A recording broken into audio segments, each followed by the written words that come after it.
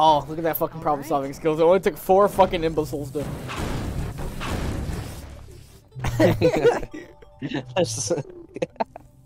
hey guys.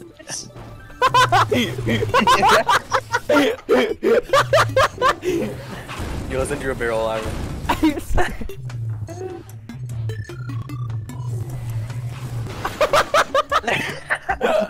Ha